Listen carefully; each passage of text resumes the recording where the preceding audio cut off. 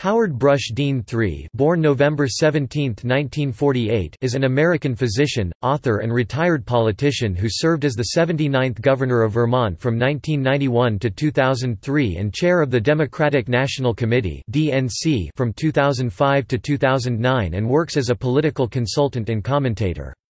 Dean was a candidate for the Democratic nomination in the 2004 presidential election. His implementation of the 50-state strategy as head of the DNC is credited with the Democratic victories in the 2006 and 2008 elections. Afterward, he became a political commentator and consultant to McKenna Long and Aldridge, a law and lobbying firm.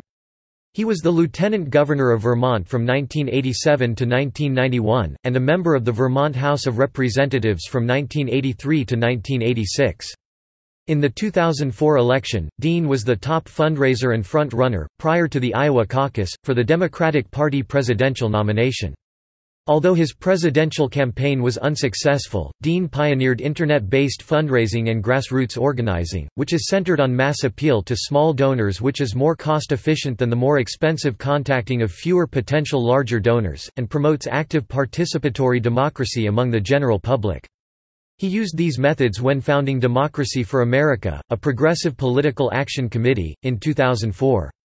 Before entering politics, Dean earned his medical degree from the Albert Einstein College of Medicine in 1978. Dean was elected to the Vermont House of Representatives as a Democrat in 1982 and was elected lieutenant governor in 1986. Both were part-time positions that enabled him to continue practicing medicine. In 1991, Dean became governor of Vermont when Richard A. Snelling died in office.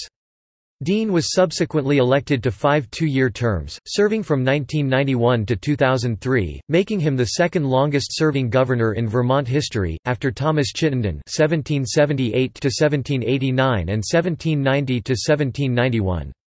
Dean served as chairman of the National Governors Association from 1994 to 1995. During his term, Vermont paid off much of its public debt and had a balanced budget 11 times, lowering income taxes twice.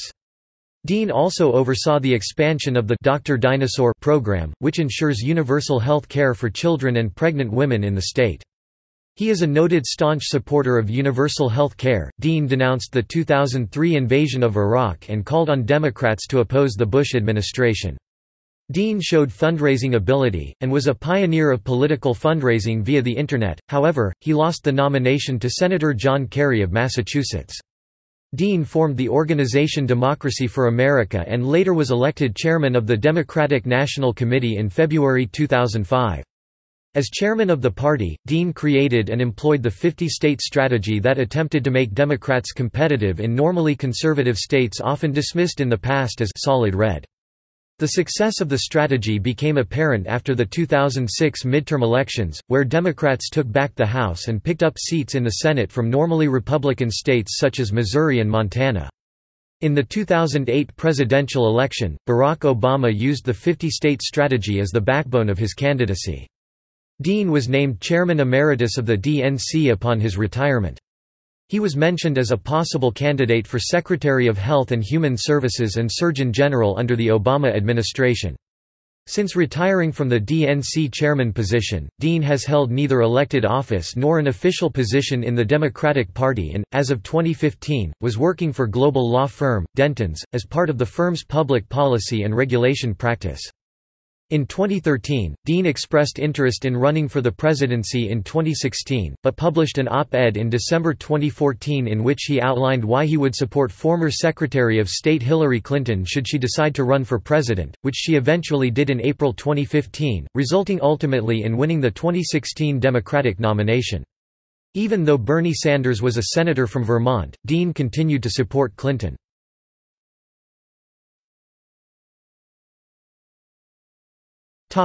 Early life and education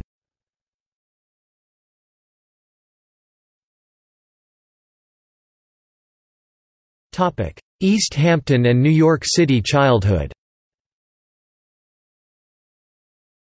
Dean was born in East Hampton, New York, to Andre Belden Maitland, an art appraiser, and Howard Brush Dean, Jr., an executive in the financial industry.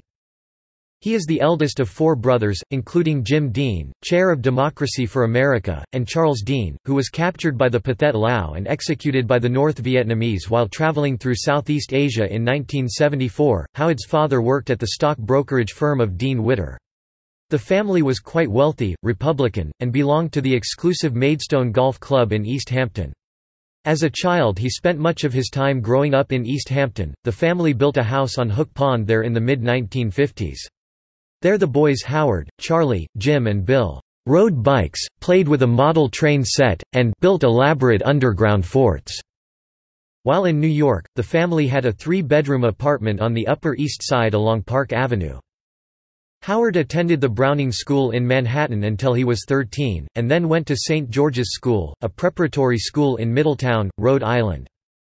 In September 1966, he attended Felsted School, UK, for one school year after winning an English-speaking Union scholarship. Political opponents have been reluctant to seize upon Dean's privileged early life. UPI quoted one of Dean's friends in his youth as saying, "By Hampton's standards, the Deans were not rich. No safaris in Africa or chalets in Switzerland. Howard's father went to work every day. He didn't own a company, or have a father or grandfather who founded one, as mine did." Peggy Noonan wrote in The Wall Street Journal that, He doesn't seem like a wasp. I know it's not nice to deal in stereotypes, but there seems very little Thurston Howell, 3, or George Bush, the elder, for that matter, in Mr. Dean. He seems unpolished, doesn't hide his aggression, is proudly pugnacious. He doesn't look or act the part of the wasp. It will be harder for Republicans to tag Mr. Dean as son of the Maidstone Club than it was for Democrats to tag Bush 1 as heir to Greenwich Country Day. He just doesn't act the part. The Yale years Dean graduated from Yale University with a Bachelor of Arts in Political Science in 1971. As a freshman, he requested specifically to room with an African American. The university housing office complied and Dean roomed with two Southern black students and one white student from Pennsylvania. One of Dean's roommates was Ralph Dawson, the son of a sheet metal worker in Charleston, South Carolina and today a New York City labor lawyer. Dawson said of Dean, Unless you operated from a stereotypic understanding of the Yale white boy as rich, you wouldn't know that about Howard. When it came to race and I don't know whether this was a function of intent or just came naturally Howard was not patronizing in any way. He was willing to confront in discussion what a lot of white students weren't. He would hold his ground. He would respect that I knew 42 million times more about being black than he did. But that didn't mean he couldn't hold a view on something relating to civil rights that would be as valid as mine. There were lots of well-meaning people at Yale who wanted you to understand that they understood your plight, you'd get into a conversation and they would yield too soon, so we didn't get the full benefit of the exchange. Howard very much thought he was capable of working an issue through. He was inquisitive. And when he came to a conclusion he would be as strong as anybody else. I don't think he's stubborn. He's a guy who's always been comfortable in his own skin. That's something you still see in him today, and it gets him into some degree of controversy. Though eventually eligible to be drafted into the military, he received a deferment for an unfused vertebra. He explained to Tim Russert on Meet the Press, "...I was really in no hurry to join the military." He briefly tried a career as a stockbroker before deciding on a career in medicine, completing pre-medicine classes at Columbia University.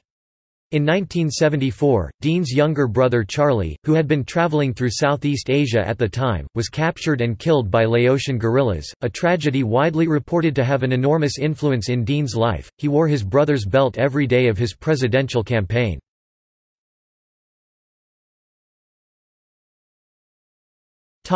Vermont medical practice Dean received his medical degree from the Albert Einstein College of Medicine of Yeshiva University in 1978 and began a medical residency at the University of Vermont. In 1981, he married fellow Dr. Judith Steinberg, whom he met in medical school, and together they began a family medical practice in Shelburne, Vermont where she continued to use her maiden name to avoid confusion.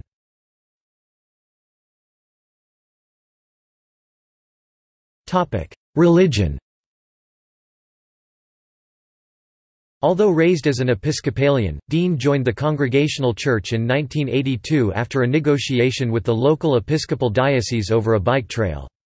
By his own account, he does not attend church. At one point, when asked to name his favorite book in the New Testament, he offered the Old Testament book of Job, then corrected himself an hour later.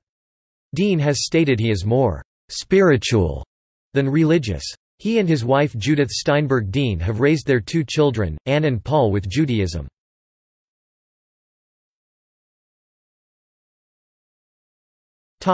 Vermont political career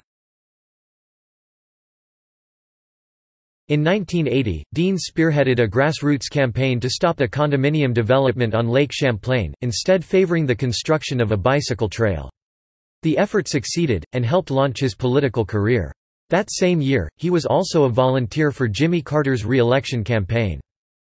In 1982, he was elected to the Vermont House of Representatives. He was re-elected in 1984 and became assistant minority leader. He was elected lieutenant governor in 1988 and re-elected in 1990. Both were part-time positions, and Dean continued to practice medicine alongside his wife until he became governor. On August 13, 1991, Dean was examining a patient when he received word that Governor Richard A. Snelling had died of sudden cardiac arrest. Dean assumed the office, which he called the greatest job in Vermont. He was subsequently elected to five two-year terms in his own right, making him the longest-serving governor in Vermont's history as a state. From 1994 to 1995, Dean was the chairman of the National Governors Association. Dean was faced with an economic recession and a $60 million budget deficit. He bucked many in his own party to immediately push for a balanced budget, an act which marked the beginning of a record of fiscal restraint. During his tenure as governor, the state paid off much of its debt, balanced its budget 11 times, raised its bond rating, and lowered income taxes twice. Robert Dreyfuss wrote that as a fiscal conservative, Dean navigated a triangular course between the two parties, clashing often with the Democrats over taxes and spending, and helping to drive many liberal left Democrats into the arms of the Progressive Party and of Representative Bernie Sanders, Congress's lone socialist. Inheriting a fiscal crisis from Snelling, Dean slashed the budget and dramatically reduced taxes. During the 1990s, Dean repeatedly unsheathed his veto pen, and he often allied with a growing contingent of conservative Blue Dog Democrats and Republicans to outmaneuver the Democratic leadership on issues such as taxes. Dean also focused on health care issues, most notably through the Dr. Dynasaur program, which ensures near universal health coverage for children and pregnant women in the state. The uninsured rate in Vermont fell from 10.8% in 1993 to 8.4% in 2000 under his watch. Child abuse and teen pregnancy rates were cut roughly in half, by far the most controversial decision of his career, and the first to draw serious national attention, came in 2000, when the Vermont Supreme Court, in Baker v. State, ruled that the state's marriage laws unconstitutionally excluded same-sex couples and ordered that the state legislature either allow gays and lesbians to marry or create a parallel status. Facing calls to amend the state constitution to prohibit either option, Dean chose to support the latter one, and signed the nation's first civil unions legislation into law, spurring a short-lived, "'Take Back Vermont' movement which helped Republicans gain control of the state house. Dean was criticized during his 2004 presidential campaign for another decision related to civil unions.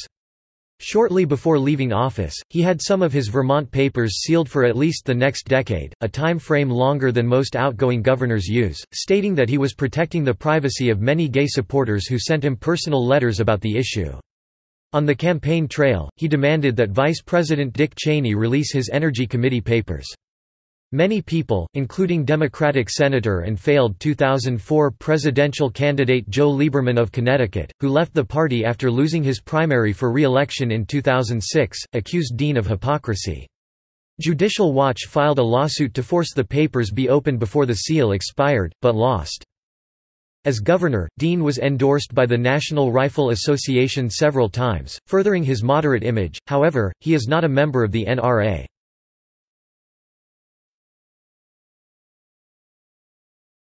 2004 presidential candidacy Dean began his bid for president as a «long shot» candidate. ABC News ranked him 8th out of 12 in a list of potential presidential contenders in May 2002. In March 2003 he gave a speech strongly critical of the Democratic leadership at the California State Democratic Convention that attracted the attention of grassroots party activists and set the tone and the agenda of his candidacy. It began with the line, "'What I want to know is what in the world so many Democrats are doing supporting the president's unilateral intervention in Iraq?' That summer, his campaign was featured as the cover article in The New Republic and in the following months he received expanded media attention. His campaign slowly gained steam, and by autumn of 2003, Dean had become the apparent frontrunner for the Democratic nomination, performing strongly in most polls and outpacing his rivals in fundraising. This latter feat was attributed mainly to his innovative embrace of the Internet for campaigning, using Meetup.com to track supporters and encourage grassroots participation in the campaign. The majority of his donations came from individual Dean supporters, who came to be known as Deanites, or, more commonly, Deaniacs, a term coined to describe meet-up participants, who passed out campaign materials supporting Dean and the broader movement. Critics often labeled them, Deanie Boppers, or Deanie Babies. A reference to his support from young activists. Following Dean's presidential campaign, some Deaniacs remained engaged in the political process through Democracy for America and similar locally oriented organizations.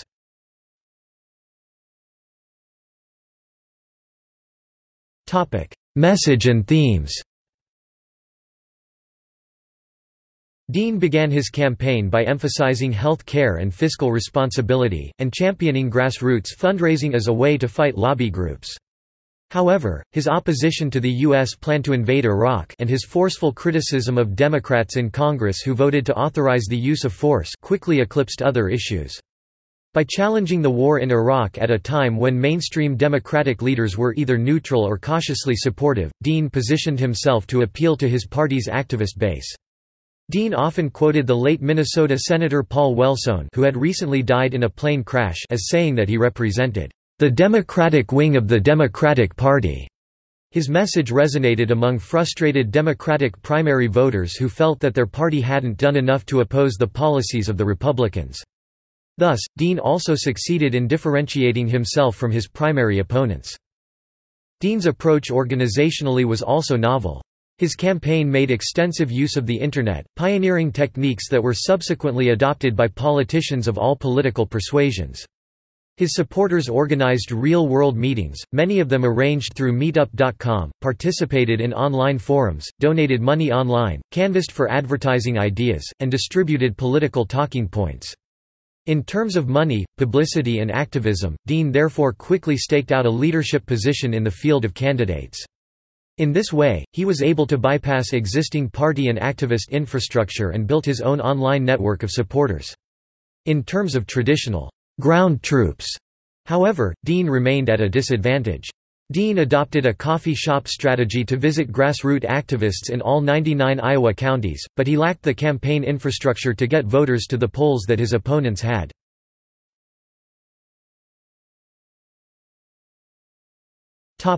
Fundraising In the invisible primary of raising campaign funds, Howard Dean led the Democratic pack in the early stages of the 2004 campaign. Among the candidates, he ranked first in total raised $25.4 million as of September 30, 2003 and first in cash on hand $12.4 million. However, even this performance paled next to that of George W. Bush, who by that date had raised $84.6 million for the Republican primary campaign, in which he had no strong challenger. Prior to the 2004 primary season, the Democratic record for most money raised in one quarter by a primary candidate was held by Bill Clinton in 1995, raising $10.3 million during a campaign in which he had no primary opponent. In the third quarter of 2003, the Dean campaign raised $14.8 million, shattering Clinton's record.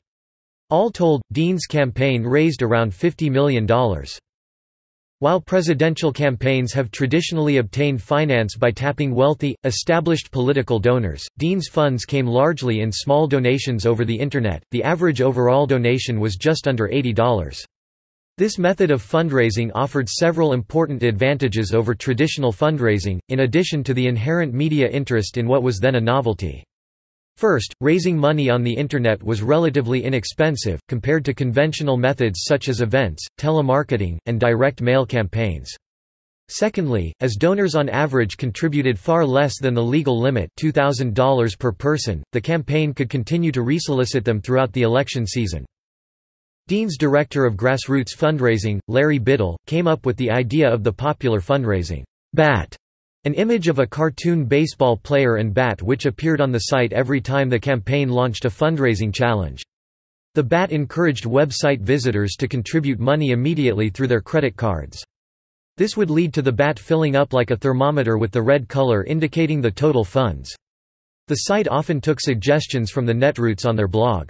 One of these suggestions led to one of the campaign's biggest accomplishments an image of Dean eating a turkey sandwich encouraged supporters to donate $250,000 in three days to match a big donor dinner by Vice President Dick Cheney. The online contributions from that day matched what Cheney made from his fundraiser. In November 2003, after a much publicized online vote among his followers, Dean became the first Democrat to forego federal matching funds and the spending limits that go with them since the system was established in 1974. John Kerry later followed his lead. In addition to state by state spending limits for the primaries, the system limits a candidate to spending only $44.6 million until the Democratic National Convention in July July, which some would almost certainly run out soon after the early primary season. George W. Bush declined federal matching funds in 2000 and did so again for the 2004 campaign. In a sign that the Dean campaign was starting to think beyond the primaries, they began in late 2003 to speak of a $100 revolution, in which 2 million Americans would give $100 in order to compete with Bush. Political commentators have stated that the fundraising of Barack Obama, with its emphasis on small donors and the Internet, refined and built upon the model that Dean's campaign pioneered.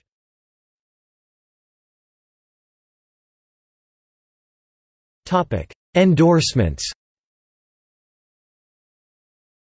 Though Dean lagged in early endorsements, he acquired many critical ones as his campaign snowballed. By the time of the Iowa caucuses, he led among commitments from superdelegates elected officials and party officers entitled to convention votes by virtue of their positions. On November 12, 2003, he received the endorsements of the Service Employees International Union and the American Federation of State, County and Municipal Employees. Dean received the endorsement of former Vice President and 2000 presidential candidate Al Gore, on December 9, 2003. In the following weeks Dean was endorsed by former U.S. Senators Bill Bradley and Carol Moseley Braun, unsuccessful Democratic presidential candidates from the 2000 and 2004 primaries, respectively. Other high-profile endorsers included Governors and former governors Bruce Babbitt, Lowell P. Weicker Jr., Jim McGreevey, Tony Anaya, Ann Richards Senators and former Senators Tom Harkin, Fred R. Harris, Howard Metzenbaum, Jim Jeffords, Patrick Leahy Representatives and former Representatives Jesse Jackson Jr., John Conyers, Major Owens, Sheila Jackson Lee Former Baltimore Mayor and former Governor of Maryland Martin J. O'Malley Dean also won the backing of lesser-known political figures, such as former Indiana State Senator and 1984 gubernatorial nominee Wayne Townsend. Timothy Kraft, a New Mexico political consultant who had been Jimmy Carter's 1980 campaign manager, came to Vermont to campaign for Dean. Several celebrities from the entertainment industry endorsed him Joan Jett, Martin Sheen, Rob Reiner, Susan Sarandon, Paul Newman, Robin Williams, and Joseph Gordon Levitt.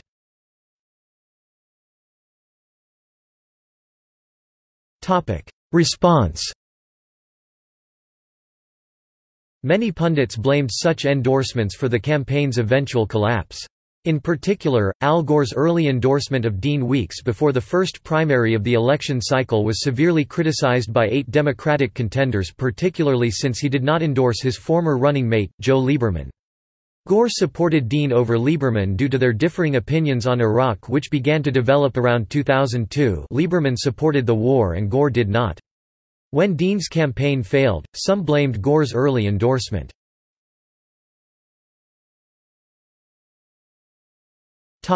Iowa caucus setback and the Dean Scream media gaffe. On January 19, 2004, Dean's campaign suffered a staggering blow when a last-minute surge by rivals John Kerry and John Edwards led to a disappointing third-place finish for Dean in the 2004 Iowa Democratic caucuses, representing the first votes cast in primary season. Dean's loud outburst in his public address that night was widely rebroadcast and portrayed as a media gaffe that ended his campaign. According to a Newsday editorial written by Verne Gay, some members of the television audience criticized the speech as loud, peculiar, and unpresidential. In particular, this quote from the speech was aired repeatedly in the days following the caucus. Not only are we going to New Hampshire, Tom Harkin, we're going to South Carolina and Oklahoma and Arizona and North Dakota and New Mexico, and we're going to California and Texas and New York. And we're going to South Dakota and Oregon and Washington and Michigan, and then we're going to Washington, D.C., to take back the White House. Yeah. Senator Harkin was on stage with Dean, holding his suit jacket. This final, yeah, with its unusual tone that Dean later said was due to the cracking of his hoarse voice, has become known in American political jargon as the Dean Scream, or the I have a scream speech. Comedians and late-night comedy show hosts such as Dave Chappelle and Conan O'Brien satirized, mocked, and popularized the sound bite, beginning a media onslaught that many believe contributed immensely to his poor showing in the subsequent races. Dean conceded that the speech did not project the best image, jokingly referring to it as a crazy, red-faced rant on The Late Show with David Letterman. In an interview later that week with Diane Sawyer, he said he was a little sheepish, but I'm not apologetic. Sawyer and many others in the national broadcast news media later expressed some regret about overplaying the story. CNN issued a public apology and admitted in a statement that they might have overplayed the incident. The incessant replaying of the Dean scream by the press became a debate on the topic of whether Dean was the victim of media bias. The Scream scene was shown an estimated 633 times by cable and broadcast news networks in just four days following the incident, a number that does not include talk shows and local news broadcasts. Some in the audience that day reported that they were unaware of the Scream until they saw it on TV. Dean said after the general election in 2004, that his microphone only picked up his voice and did not also capture the loud cheering he received from the audience as a result of the speech. On January 27, Dean finished second to Kerry in the New Hampshire primary. As late as one week before the first votes were cast in Iowa's caucuses, Dean had enjoyed a 30% lead in New Hampshire opinion polls. Accordingly, this loss represented another major setback to his campaign. Iowa and New Hampshire were the first in a string of losses for the Dean campaign, culminating in a third place showing in the Wisconsin primary on February 17. Two days before the Wisconsin primary, campaign advisor Steve Grossman announced through an article written by The New York Times Dean campaign correspondent Jodi Wilgoren that he would offer his services to any of the other major candidates, should Dean not win in Wisconsin. This scoop further undermined Dean's campaign. Grossman later issued a public apology. The next day, Dean announced that his candidacy had come to an end though he continued to urge people to vote for him, so that Dean delegates would be selected for the convention and could influence the party platform. He later won the Vermont primary on Super Tuesday, March 2. This latter victory, a surprise even to Dean, was due in part to the lack of a serious anti-Kerry candidate in Vermont. John Edwards had declined to put his name on the state's ballot, expecting Dean to win in a landslide, and in part to a television ad produced, funded, and aired in Vermont by grassroots Dean supporters.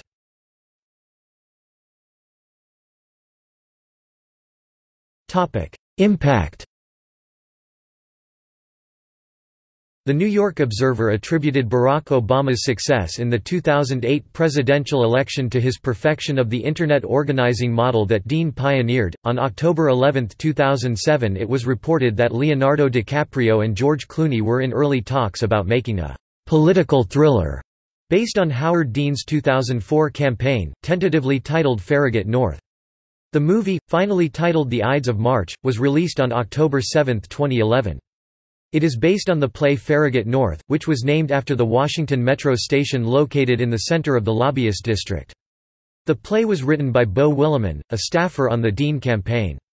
The main character is based on a former press secretary for the Dean campaign. In November 2008, a documentary film about Dean and his campaign, Dean and Me, was released and shown at several film festivals around the country.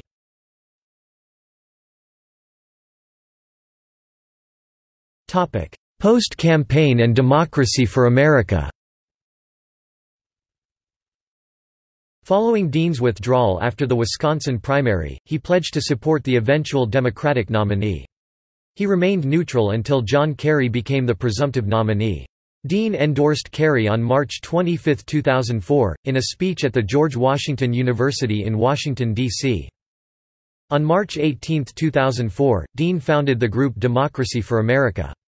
This group was created to house the large, Internet-based organization Dean created for his presidential campaign. Its goal is to help like-minded candidates get elected to local, state, and federal offices. It has endorsed several sets of 12 candidates known as the Dean Dozen. Dean turned over control of the organization to his brother, Jim Dean, when he became chairman of the Democratic National Committee. Dean strongly urged his supporters to support Kerry as opposed to Ralph Nader, arguing that a vote for Nader would only help to re-elect President George W. Bush because he believed that most who vote for Nader are likely to have voted for Kerry if Ralph Nader was not running. Dean argued that Nader would be more effective if he lobbied on election law reform issues during his campaign. Dean supported several election law reform issues such as campaign finance reform, and instant runoff voting.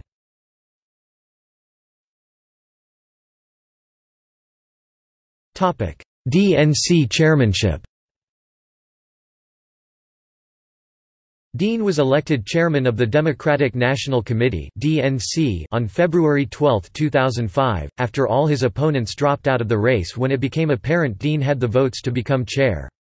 Those opponents included former Congressman Martin Frost, former Denver Mayor Wellington Webb, former Congressman and 9-11 Commissioner Tim Roemer, and strategists Donnie Fowler, David Leland, and Simon Rosenberg. Many prominent Democrats opposed Dean's campaign, House Leader Nancy Pelosi and Senate Leader Harry Reid are rumored to be among them. Dean satisfied his critics by promising to focus on fundraising and campaigning as DNC chair, and avoid policy statements. He was succeeded by Tim Kaine, who at the time of his election was the governor of Virginia, in 2009. Dean ran for the position a second time in 2016. Two days after Hillary Clinton's defeat in the 2016 presidential election, he announced that he would again seek the chairmanship. There were other contenders at the time who had been endorsed by Senator Bernie Sanders of Vermont, and Senate Minority Leader-elect Chuck Schumer of New York.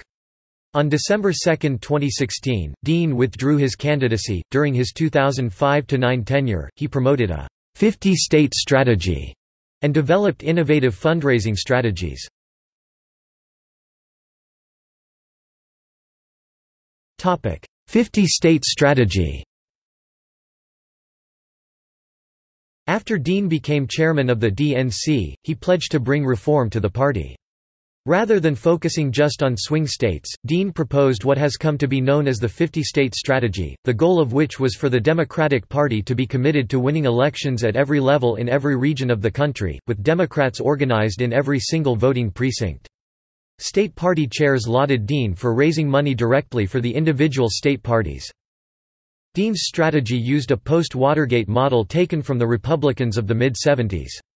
Working at the local, state and national level, the GOP built the party from the ground up. Dean's plan was to seed the local level with young and committed candidates, building them into state candidates in future races. Dean traveled extensively throughout the country with the plan, including places like Utah, Mississippi, and Texas, states in which Republicans had dominated the political landscape. Many establishment Democrats were at least initially dubious about the strategy's worth. Political consultant and former Bill Clinton advisor, Paul Begala, suggested that Dean's plan was, "...just hiring a bunch of staff people to wander around Utah and Mississippi and pick their nose." Further changes were made in attempting to make the stated platform of the Democratic Party more coherent and compact. Overhauling the website, the official platform of the 2004 campaign, which was largely criticized as avoiding key issues and being the product of party insiders, was replaced with a simplified, though comprehensive categorizing of positions on a wide range of issues. Dean's strategy arguably paid off in a historic victory as the Democrats took over control of the House of Representatives and the Senate in the 2006 mid-term elections. While it is likely this is also attributable to the shortcomings of the Republican Party in their dealings with the Iraq War and the scandals that occurred shortly before the election, Dean's emphasis on connecting with socially conservative, economic moderates in Republican-dominated states appears to have made some impact.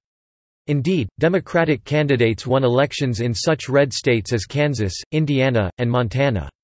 And while former Clinton strategist James Carville criticized Dean's efforts, saying more seats could have been won with the traditional plan of piling money solely into close races, the results and the strategy were met with tremendous approval by the party's executive committee in its December 2006 meeting. While he was chairman of the DCCC, Rahm Emanuel was known to have had disagreements over election strategy with Dean. Emanuel believed a more tactical approach, focusing attention on key districts, was necessary to ensure victory. Emanuel himself was criticized for his failure to support some progressive candidates, as Dean advocated. The 50-state strategy relied on the idea that building the Democratic Party is at once an incremental election-by-election -election process as well as a long-term vision in party building. Democrats cannot compete in counties in which they do not field candidates. Therefore, candidate recruitment emerged as a component element of the 50-state strategy. To build the party, the DNC under Dean worked in partnership with state Democratic parties in bringing the resources of the DNC to bear in electoral efforts, voter registration, candidate recruitment, and other interlocking component elements of party building. Decentralization was also a core component of the party's approach. The idea was that each state party had unique needs, but could improve upon its efforts through the distribution of resources from the national party. The 50-state strategy was acknowledged by political commentators as an important factor in allowing Barack Obama to compete against John McCain in traditionally red states, during the 2008 presidential contest. In 2008, Obama won several states that had previously been considered Republican strongholds, most notably Indiana, North Carolina, and Virginia.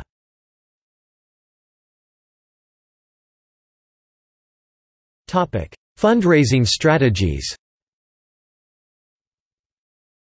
Through grassroots fundraising, Howard Dean was able to raise millions more than the previous DNC chairman at the same point after the 2000 election. The year after his election, Dean had raised the most money by any DNC chairman in a similar post-election period. This was especially apparent when the Federal Election Commission reported that the DNC had raised roughly $86.3 million in the first six months of 2005, an increase of over 50% on the amount raised during the same period of 2003. In comparison, the RNC fundraising activities represented a gain of only 2%. Additional attempts to capitalize on this trend was the introduction of democracy bonds a program under which small donors would give a set amount every month. Although it only reached over 31,000 donors by May 2006, far off pace from the stated goal of 1 million by 2008, it nonetheless contributed to a new small donor funding philosophy of the DNC. Dean continued to further develop online fundraising at the DNC. Just one month before Election Day 2006, he became the first to introduce the concept of a grassroots match where donors to the DNC pledged to match the first donation made by a new contributor. The DNC stated that the resulting flood of contributions led to 10,000 first-time donors in just a few days. Topic private career In a January 2009 interview with the Associated Press, Dean indicated he would enter the private sector after 30 years in politics. Dean told the AP he would deliver speeches and share ideas about campaigns and technology with center-left political parties around the world. When asked about not being selected for a position in the Obama administration, Dean responded, Obviously, it would have been great, but it's not happening and the president has the right to name his own cabinet, so I'm not going to work in the government it looks like. When asked how he felt about not being selected, Dean replied he would punt on that one. Supporters of Dean were angry that he was not given a position in the new administration and not invited to the press conference at which Tim Kaine was introduced as his successor as Democratic National Committee chairman. Joe Trippi, who was Dean's presidential campaign manager in 2004, told Politico, Dean was never afraid to challenge the way party establishment in Washington did business, and that doesn't win you friends in either party. Trippi further explained the apparent snub of Dean by stating, You don't have to look any further than Rahm Emanuel. Trippi was referring to the tension between Emanuel and Dean over Dean's 50-state strategy. Sources close to Emanuel dismissed these charges. Dean said, I didn't do this for the spoils. I did this for the country. I'm very happy that Barack Obama is president, and I think he's picked a great cabinet. And I'm pretty happy. I wouldn't trade my position for any other position right now. I'm going to go into the private sector, make a living making speeches, and do a lot of stuff on health care policy. After the withdrawal of Tom Daschle's nomination for the position, Dean had been touted by many for the post of Secretary of Health and Human Services. After being passed over for the post once again, Dean commented, I was pretty clear that I would have liked to have been Secretary of HHS but it is the President's choice and he decided to go in a different direction. Dean is a contributor to the news network MSNBC in shows such as The Last Word with Lawrence O'Donnell. He has also guest hosted Countdown with Keith Olbermann and The Rachel Maddow Show. He is on the board of the National Democratic Institute. Dean also serves as a senior presidential fellow at Hofstra University. Dean has been a senior strategic advisor and independent consultant for the government affairs practice at McKenna, Long and Aldridge. Outside the U.S., Dean is a supporter of the Liberal Democrats Party of the United Kingdom. He has close links with the party and has spoken at their party conference in the past. Since the UK began the Brexit process, he has continued to tweet his support for the party. equals equals Electoral history